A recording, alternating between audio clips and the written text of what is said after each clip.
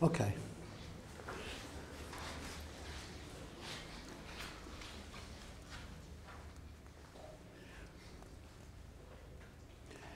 We have seen the following. Let me focus on the boost in the x direction, just to set the stage. Boost in x direction. What we had was, say, c k1 was in the Lorentz space. And the one associated with this in the spinor space was sigma k1 mu right? So the sign convention. And here tangent c was minus beta. If you would like to associate the physical parameters with the mathematical parameters. So let's remember the definition of the K1.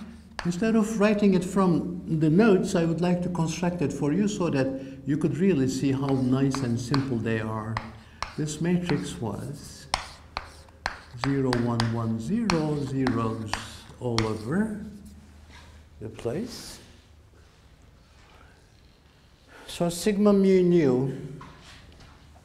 So if you read it from there, K1 0, 1 was plus 1, k1, 1, 0 was again plus 1, right? You read it from the matrix and use the matrix notation carefully. So what does it mean for the super indices k1, 0, 1? I'm using this bracket to be on the safe side. You don't have to if you feel comfortable about this. Huh? This is minus 1, right? When you raise this up, and for the second one, K1, when you raise this one up, it doesn't change anything, so it is plus 1. So this reduction is easily done. Sigma mu nu K1 mu nu is sigma 0, 1.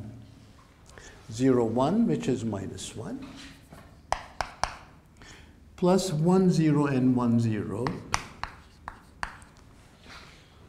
I'm the repeated indices are summed over, so I sum over the mu's and nu's. Okay. So this is altogether minus 201, 2 sigma 01, because, anti, because of the anti-symmetry.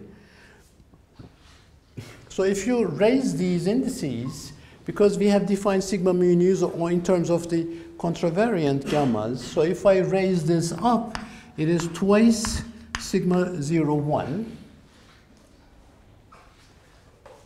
obviously. And sigma 0, 1 was i over 2 gamma 0 and gamma 1. Again, using the anti-symmetry, it is i times gamma 0 gamma 1. Gamma 1 super is gamma 0 times the alpha, so it is i times alpha x. Remember I told you that alpha, uh, for the alphas, I always use the Cartesian notation, and in order to be on the safe side, it's always good to use x, y, and z. So this sigma mu nu k1 mu nu is altogether twice times i times alpha x. And finally, I can finish the discussion and write the s associated s is a to the minus i over 4 omega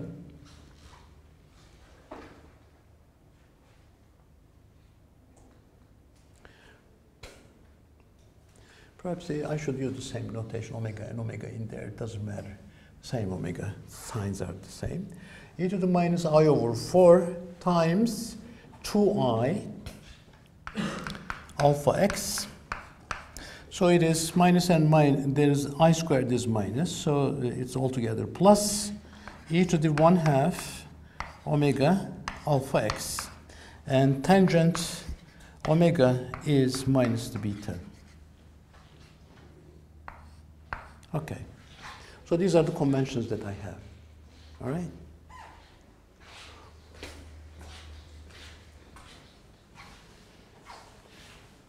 Fine.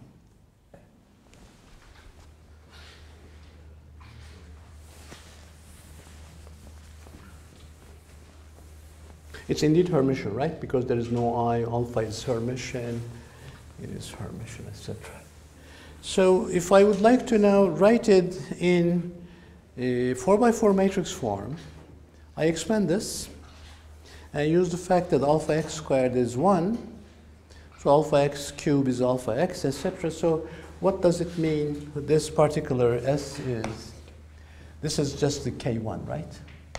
S of K1 a better notation in, in agreement with our previous notation is this 1 over 2 omega alpha x.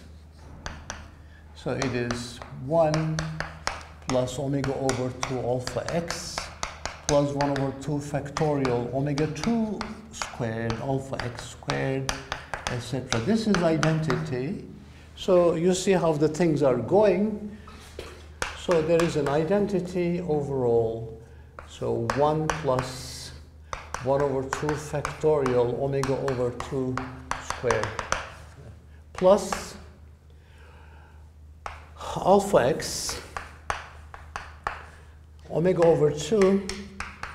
Well, this is again sign is plus here because there is the 1 over 3 factorial. So omega over 2 cube so finally, I have identity times cosine hyperbolic omega over 2 plus alpha x sine hyperbolic omega over 2. Okay, so that's the 2 by 2 form, I'm sorry, 4 by 4 matrix form of the boost in the x direction. I can generalize it immediately to an arbitrary direction, but here, what is the point? The point is here the tangent hyperbolic omega is minus beta.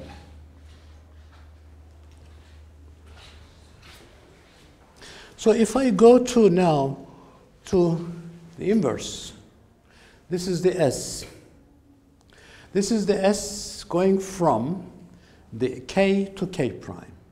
Whereas I need the inverse of it, right? I need the S which is going from K prime frame to K the inverse one. So the inverse of this lambda is S of lambda inverse. And lambda inverse means you are changing the v going to minus v, right? Because it is v that way. So how does it change? If the v changes sign, it is this thing which changes sign? For the K1, for the specific case of K1.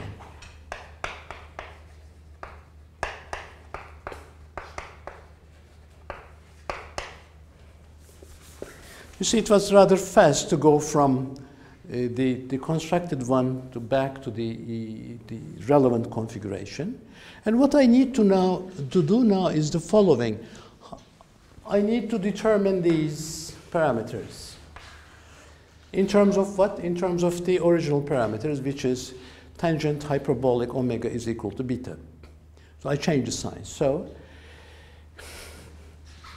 I will use the following trigonometric relationship. I have already done, perhaps written down, that down before.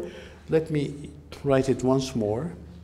Tangent hyperbolic omega over 2 in terms of the tangent uh, hyperbolic omega is equal to 1 plus, I hope you can drive such relationship on your own instead of looking at the tables.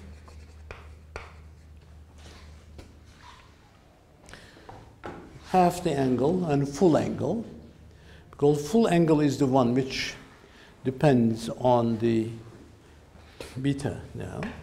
This is beta divided by 1, 1 minus beta squared. Okay.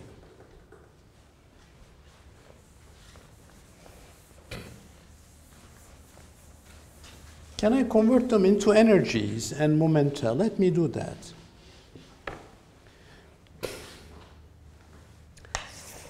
What is the energy? Energy is gamma mc squared. Right? The gamma is the famous Einstein factor here.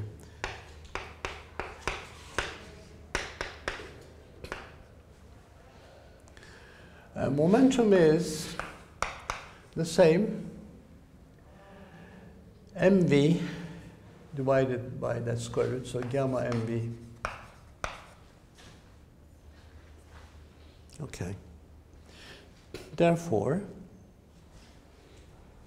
if I, for instance, take the ratio of P over E, what do I get? The magnitude of P divided by the energy here is gammas cancel, and you have V over C squared. What is V over C? V, let me use the beta, V over C, one of the V over C is beta, so it is 1 over C beta. So whenever you have beta, you can convert it into that ratio, right? So beta is Cp over E if you want. P is the magnitude of the P vector, okay.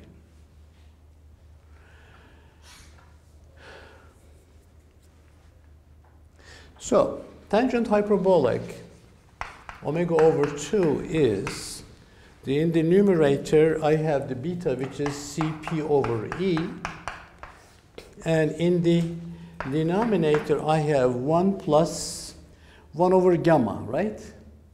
1 over gamma is what? Here, I can solve from here 1 over gamma. It is 1 plus 1 over gamma. So let me determine 1 over gamma from there. mc squared over E.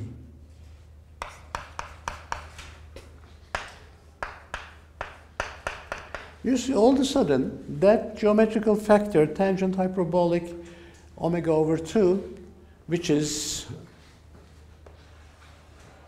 needed in here, if I factor sine, cosine hyperbolic omega over 2, 1, no, I, I have to write it in here because I have inverted, I, have, I went to the relevant one. Cosine hyperbolic omega over 2, 1 minus alpha x tangent hyperbolic omega over 2.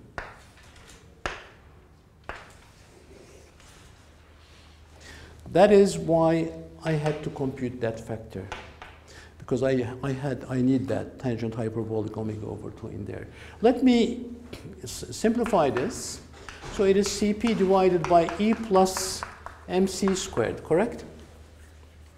If I multiply both the numerator and denominator by the E, let me now try to simplify this even further. What about the CP? Do I, can I solve it? Yes. Energy momentum dispersion relation is this expression, right? Plus m squared c to the 4. So if I determine c squared p squared, c squared p squared is e squared minus m squared to the c to the 4. So if I substitute that up, then I get what? Let me use it here as a shorthand. This is inside the square root, I write it as e squared minus m squared c to the 4, which you can write the product of plus and minus. So it is e minus mc squared divided by e plus mc squared if you want, which is a very, quite a nice form, isn't it?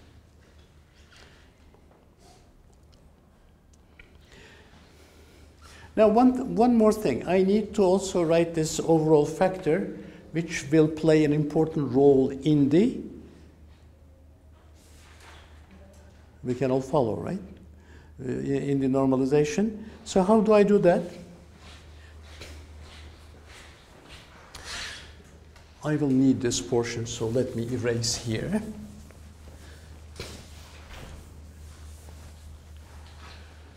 What is the cosine squared omega over 2 minus sine squared omega over 2 is equal to 1, right? That's the trigonometry, hyperbolic uh, trigonometry standard definition.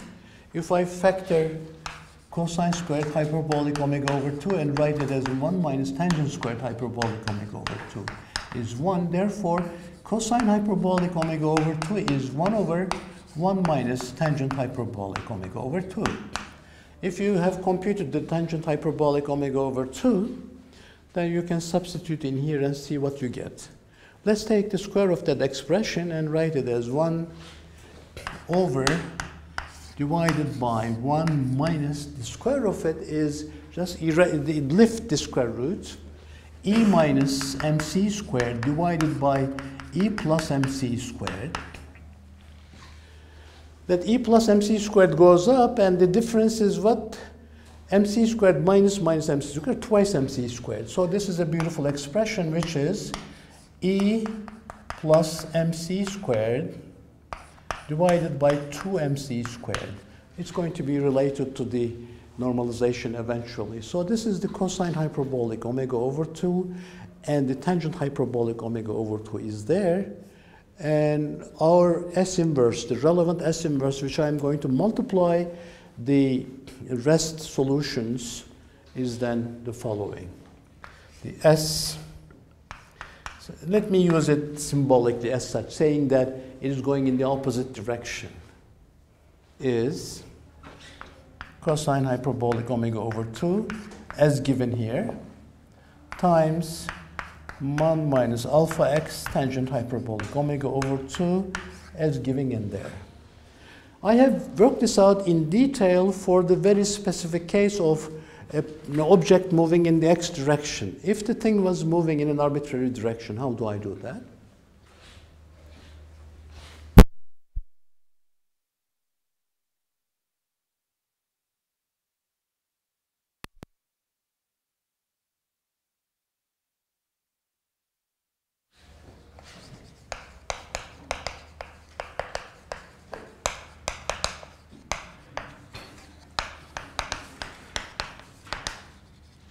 That is my original particle I have chosen for illustrating quickly everything. I have chosen it to be moving in the x direction.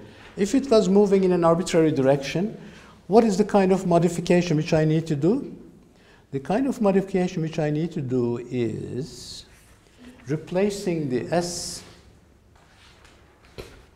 the, the, the S, originally remember it was S was e to the, for the relevance, minus v. e to the minus a half omega alpha x. So I replace it with the minus 1 over 2 omega. Omega, let me write omega n n dot alpha.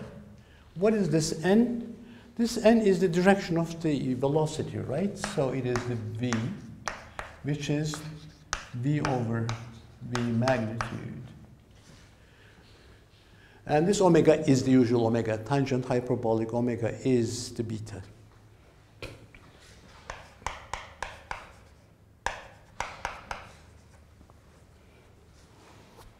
Okay, so how that, what happens to that expression? That expression becomes now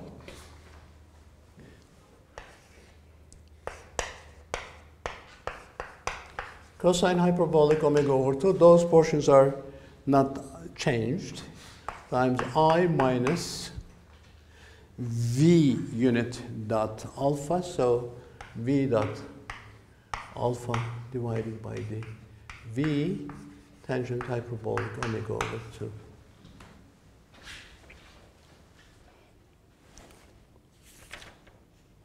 Okay. Very good.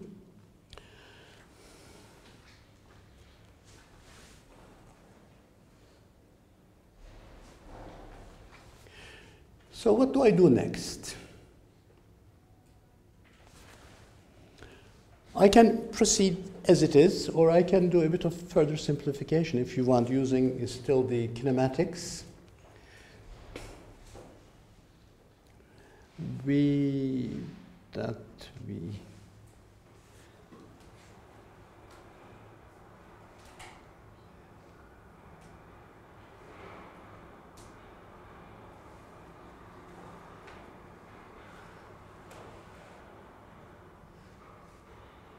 Okay. The further simplification will be the following. Let's remember this. Tangent hyperbolic. I would like to, I was planning to skip that, but let's not do that. tangent hyperbolic omega over 2 is Cp divided by E plus mc squared. So we have this multiplying it. That is V dot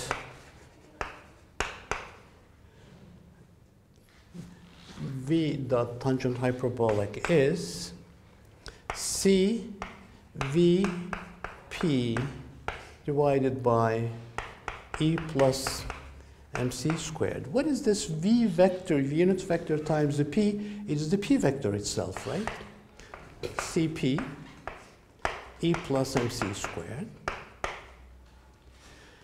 Okay, so this v dot alpha thing becomes then the entire thing v dot alpha divided by the v magnitude of tangent hyperbolic omega over 2 becomes c p divided by the v magnitude plus e over mc squared. Okay.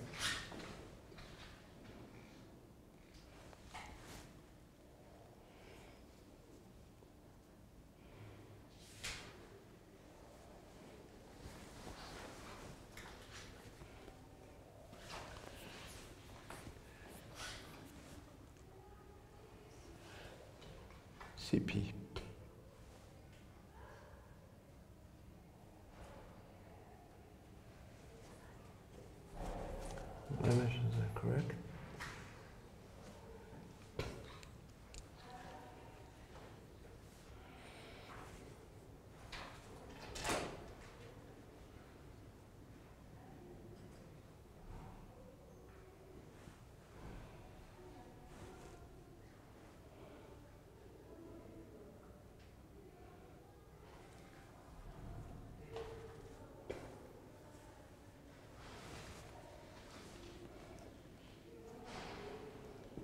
Mm.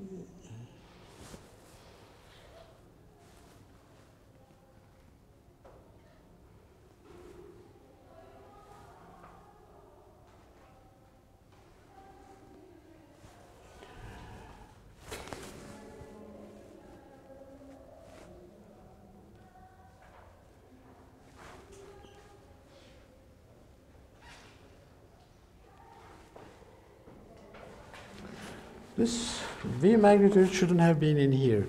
Do you notice that? Somehow that stick out as an extra. Tangent hyperbolic is this.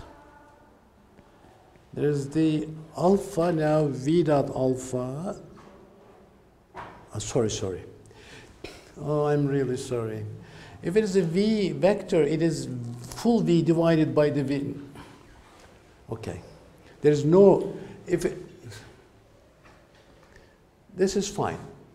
When this is V dotted into A divided magnitude, but here I am taking the unit vector. Unit vector is the V full divided, because otherwise I would be, I was having something wrong in here, an additional one. V unit is the V full divided by the magnitude. Fine.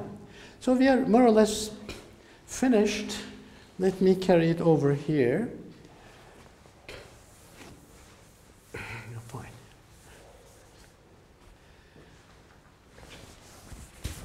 So S of minus V is now the cosine hyperbolic omega over 2. I leave it as it is because that's related to normalization, but inside is done. So 1 minus 1 minus Cp dot alpha, Cp dot alpha divided by E mc squared is the transformation. Good, fine. What I will do next is I will take this transformation and act on the spinors at rest and find the moving spinors.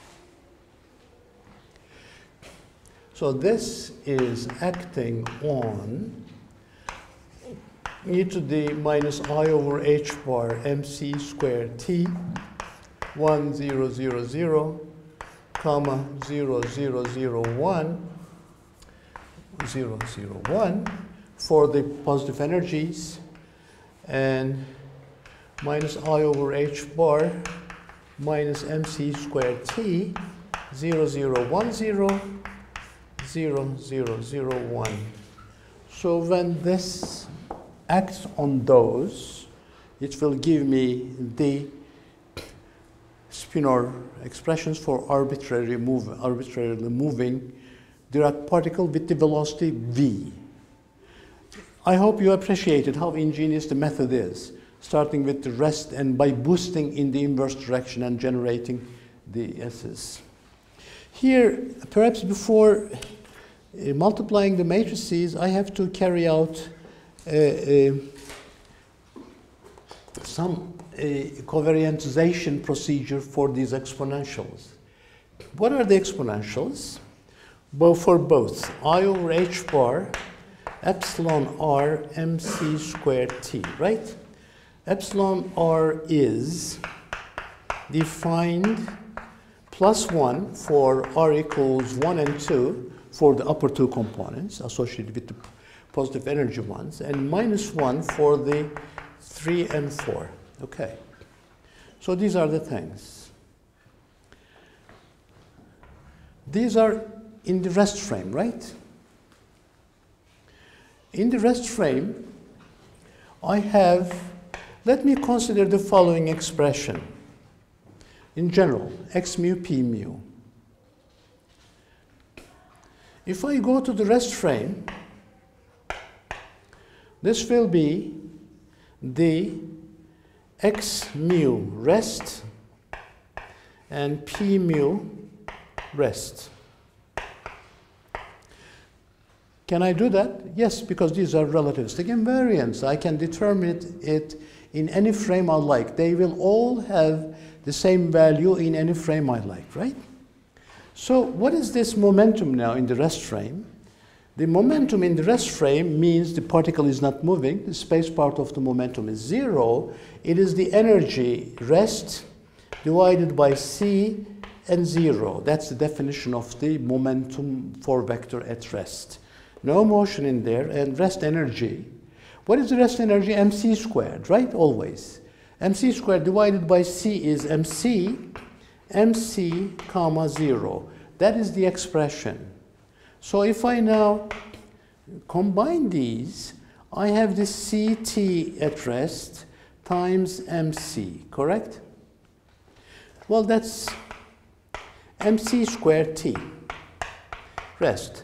But that T is the time in here, right? When I was looking of the rest solution, obviously, uh, the time is measured by that rest observer. So originally this t of mine is nothing but this tr. So this tmc squared is equal to x mu p mu in an arbitrary frame. It's always equal to that one. So this altogether, this entire thing becomes, I will write it in here so that it's visible, e to the minus i over h bar epsilon r x mu p mu. Isn't that beautiful? So we have that factor handled. So that factor is sitting there, and then I am multiplying this matrix to those solutions. Once the overall factor is taken care of, depending on, of course, whether r equals 1 and, 1 and 2 or 3 and 4, that's to be kept in mind.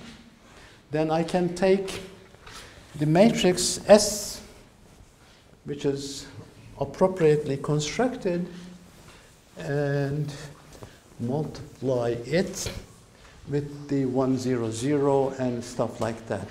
So here is the matrix that I have.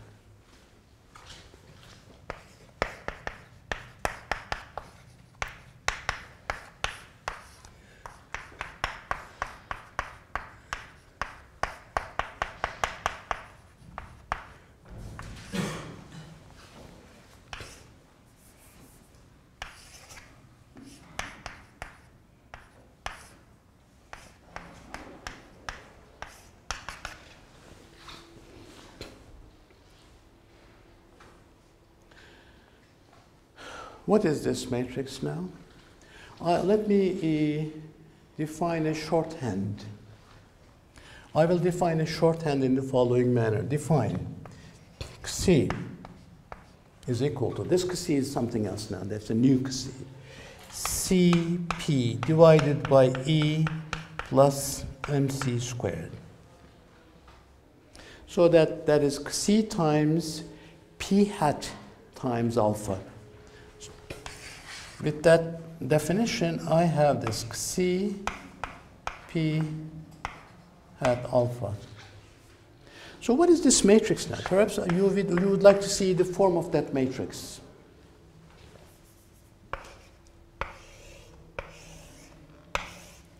There is a 1, now two-dimensional 1, minus c p dot sigma in here, minus c p dot sigma in here, and that's an identity. So that's the form of the matrix. If this is the form of the 4 by 4 matrix in 2 by 2 blocks, I have to multiply this with that first. Well, I will call the first number 1, second number 2, or perhaps I will do the following. 1 plus is the, there's 1, 1 minus this, 2 plus and 2 minus. Okay. So this matrix is multiplying this upper one. This times that, and this times that is 1, 0 for the upper part, because this times that is taking, the identity is taking 1 and 0, then this times that again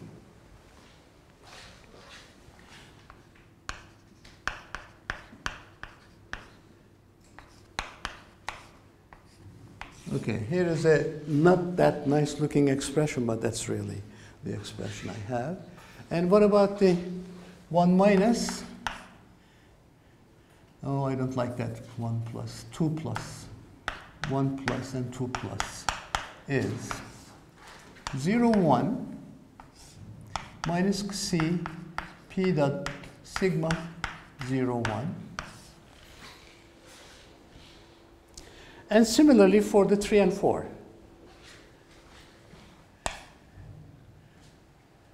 Three plus,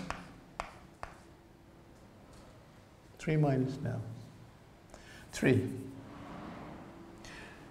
Well, three minus, okay. So it is a little more involved than this. Now you take this and multiply with the 0, 0, 1, 0 so it is this one which is coming up. Minus C P dot sigma 1 0. Now this is acting on there. There's that one.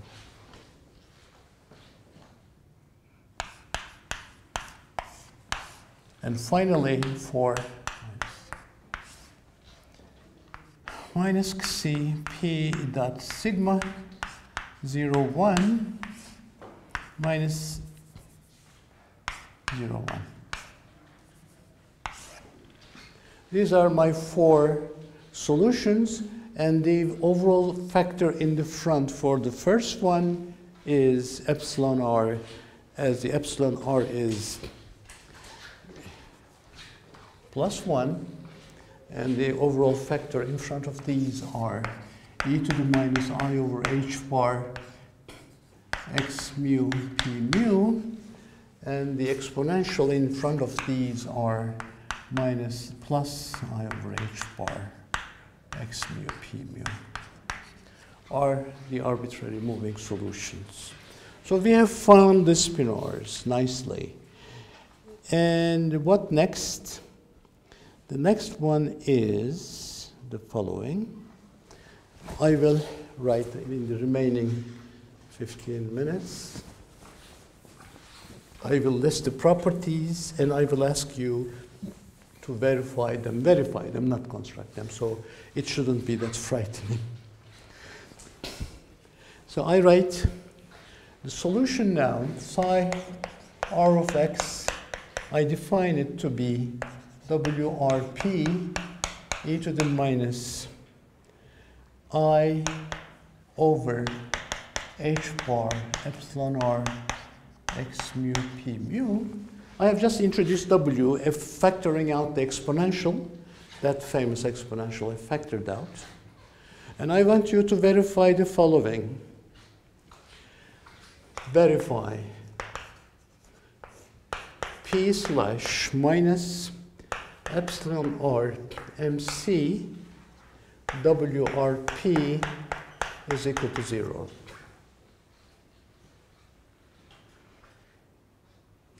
I encourage you to directly use the construction.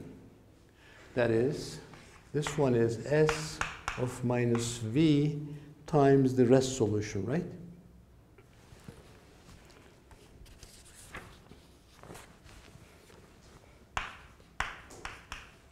That's a safe way of doing it. Because apart from the exponentials, which is the energy exponential part, this is obtained by acting on the rest solutions, 1, 0, 0, 1, 0, 0, 1, 0 uh, and on by that operator, which is nicely obtained explicitly. If you try to do this by looking at those explicit solutions, you may make mistakes and then you blow the expression. If there is a dangerous procedure that you are bound to make mistakes, you blow everything. Don't do that.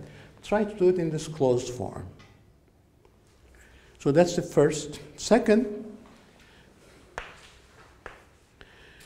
WR bar obtained by multiplying this solution, taking the dagger and multiplying it from right by the gamma zero. P slash minus epsilon r mc is equal to zero. That's the second equation satisfied by the WR bar. And third, WR bar P WR prime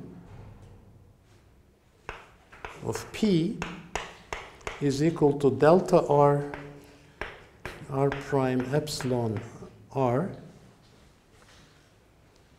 That's a rather interesting expression. Notice that epsilon R is coming into a game so that if it is 1, 1, 2, and 1, 2, the sign is plus 3, 4, and 3, 4 because there are four of them the sign should come out to be minus. And finally, I will write it up.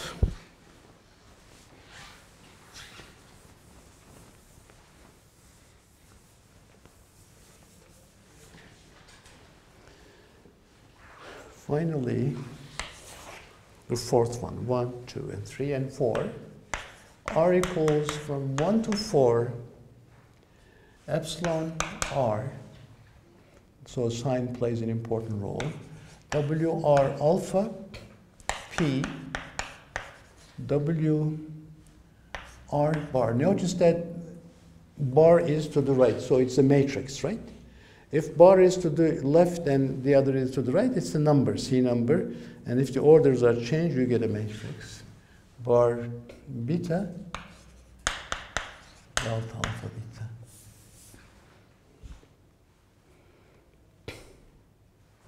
And demonstrating those things require, demonstrating all of them requires that you have to use this definition for the safest way. And also, uh, I could have introduced projectors, but uh, there's no need for that. If uh, need arises, I can construct step by step and ask it in the exam. But so it's a good place to stop. If I had another half an hour, I could have give you hints to demonstrate this. But if you use this expression, you should, it shouldn't take more than one hour altogether to demonstrate all these four properties. Please do that because it gives you a feeling on what is the form of the, these spinors at motion. Notice that the spinors at motion have the form of a being eigenspinor of the p slash operator, right? If you write this as an eigenvalue equation, moving this constant to the right, p slash acting on wr is equal to epsilon r times mc times r omega r itself. So these are really eigenspinors of the p slash operator. This and its conjugate. And this is what? This is sort of the orthogonality of these spinors. And this is the completeness involving all four of them. So all four of them constitute a complete set. But this completeness requires that you distinguish between the plus positive energy and negative energy solutions because at the articles 3 and 4, there is a relative sign minus in here, right? W1, W1 bar, W2, W2 bar minus W3, W3 bar minus W4, W4 bar.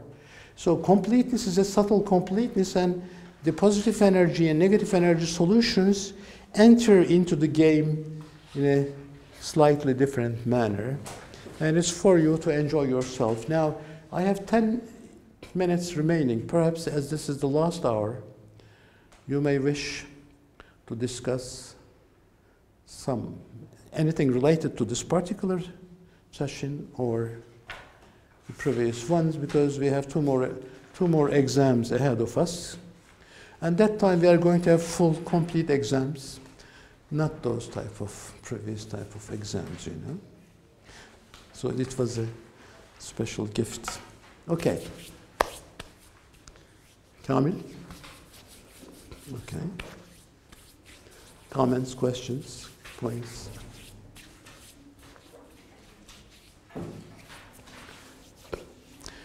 These are assigned as private homeworks. You know what it means, right?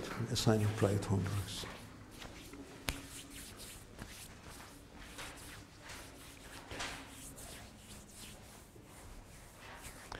Non-relativistic limits are different than classical limits. Going to classical limits means you can still are you are at high speeds, high energies, but it's classical versus quantum.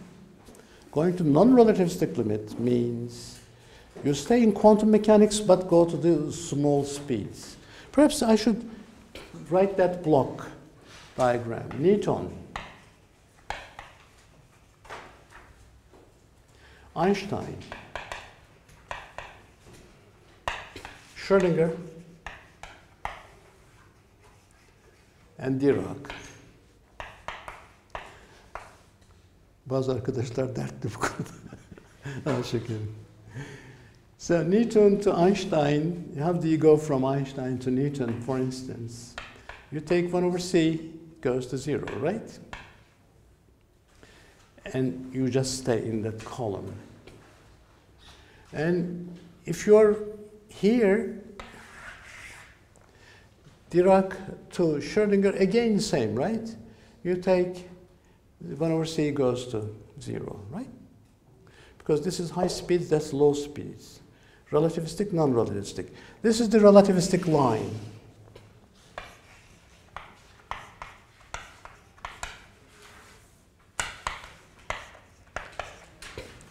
That is the non-relativistic uh, line.